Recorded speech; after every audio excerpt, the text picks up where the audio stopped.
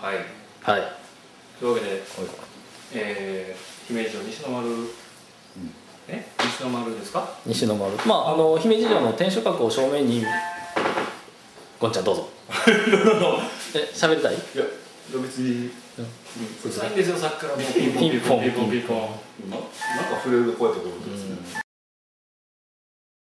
まあとある一室に。そうですね。結構ねあのーこうやってぐるっと見回してみるとね何畳ぐらいでしょうか？10畳ぐらいの部屋でしょうかね、あるんですね。そうですね。いいですね。うん。まあこういうこのように、まあ、こういうところに、おそらく戦いがあればこういうところにあの兵隊あの侍さんが立てこもったりして戦うことになったんであろうと、おそらくねあの鉄砲とか槍とかが置いてあったんじゃないかなと思うんですけれども、よろしいですねはい、では第1問。おお用意しなきゃいけないじゃないか。ちょっと待てよ。なあたふたするよな。そそくさとそそくさとさそそく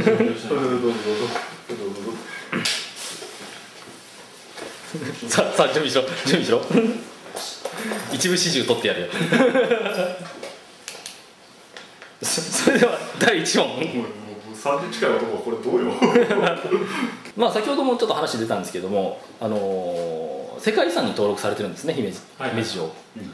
まあもう今ではあのどんなお金持ちが来ようがお金で買えるようなものではないんですよね、はいただですね明治時代に入った時あの侍の時代が終わった時にですねあのお城は一度売りに出されてます、あらしいですね。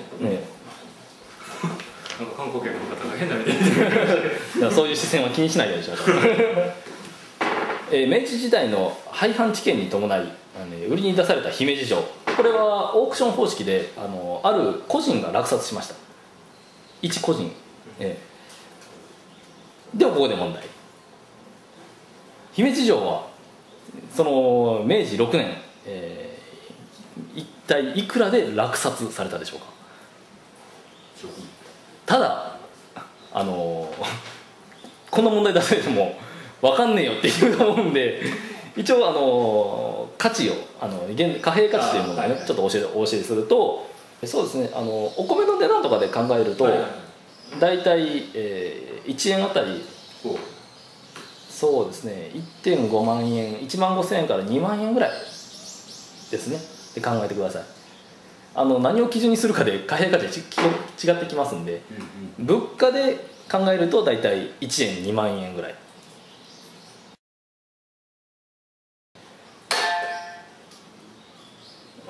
さあさあおいくらその当時、えー落札された姫路城一体おいくらだと思いますか？1万円ぐらい。はいもちろん、250ペソ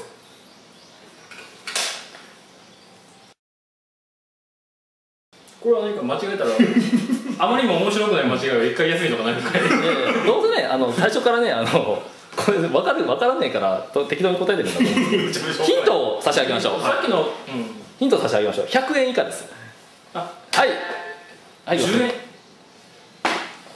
はいごちゃんえー、25円あこれはなんだいあ近いな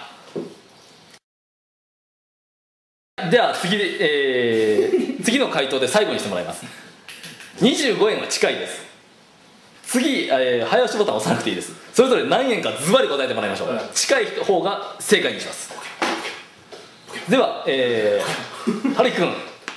いいか？もうもう考えたか？考えた考えた考えた。25円が近いんだよな。そうそうそう。26円。ハリ君は26円。でゴンちゃんはいくらだと思いますか？えー、そうやね27円5銭27円5銭正解は23円50銭。ということで春樹君が近いので正解にします。春樹君10ポイントゲやっぱりあの高い方に考えちゃうよね。ついついお城の規模的にね。ーねえ。まあまあとりあえずなんあの質問のね、あのクイズの質問の前になんかいろいろ貨幣価値を言ってくれたけどで実際ちょっとよく理解できなかったけど23円23円50銭？あのね当時で言うといくらぐらい？当時はまあそんなに高くない、まあ40万円ぐらい。うん。だからね個人本当に個人が買えるぐらいの値段しかつかなかったんだね姫路城っていうのは。あでですねあのその落札した人はあの姫路城の瓦とか柱などを解体して売ろうと思ってたらしいんですけれども解体費用があまりにも高額になることが分かりまして結局売買契約は結ばずに売られずに済んだんです。だから姫路城売りには出されたんですけれども、えー誰買い取った人はいないんですね。というわけで、えーまあジャストというわけにはいかなかったですけれども春樹くんがより正解に近い数字を出したということで、えー、春樹くん10ポイントゲット。おめでとうございます。え君たち何か疑問に思うことないか？ー、思う。はいで何でしょう？えっ、と買った方には何かあああいい質問来ましたね。待ってましたよ、ちょっとこれ使えよお前。あ いいようるさい。置いとけ。勝った人には何があるんだと言ってましたけども。まああのむしろ姫路市民にとって姫路城に詳しくなるっていうことはこれ以上の名誉はないと思いませんか？うんうんうんうんうんうん。うんもういい。もう分かっ何もないってことだね別に。たはいあの勝ったからといって別に何もありません。たただだなんかすごい嫌な予感がする、ただっていう。ただ。嫌な予感がする負けた方には何かあるぞこれ。ねっていうかあのただじゃない。たえ。えだじゃ済まさんで負けた方にはもちろんあの姫路城のことを今まで興味持って接してこなかったという判断をさせていただきますのであの罰ゲームの方を用意させていただいておりますのでよろしくお願いしますこんちゃん分かってるか、今ちょっと差はあるけど。ええ。クイズに真面目に取り組まないとえらい目に遭うってことだよ。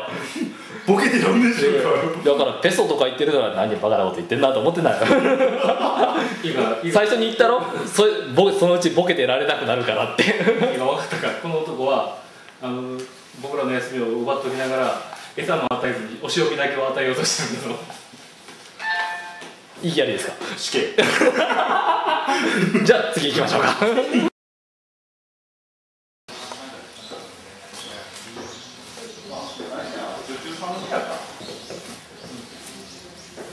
女の館に来ましたよ、ええ。ゴンちゃんがいち早く鋭いリアクションを見せました。女の館。ほら。何の部屋なんですか？ここはなんか奥女中の暮らしって言って、まあ、勤める人の、まあ、待機部屋、ああ控え室みたいなもんですか？詰め所やね、ああなるほどね。うん、昔は賑わっていたと書いてますよ、昔は。今はどううね。今はねあのカメラ回してクイズをやろうかという不定の輩がいますけれどもね。これマイナスにならんか。マイナスでいいよ。あそういうのあいいな。俺くだらんこと言うとマイナスにしようか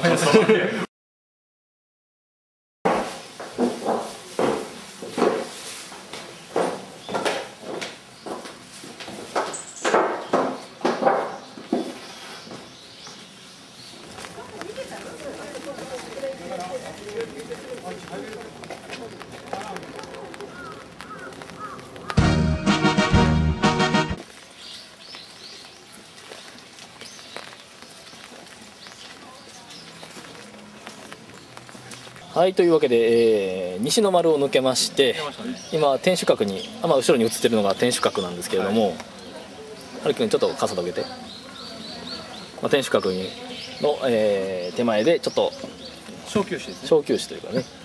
観光客の方も非常に多いですね。雨降ってるのにね。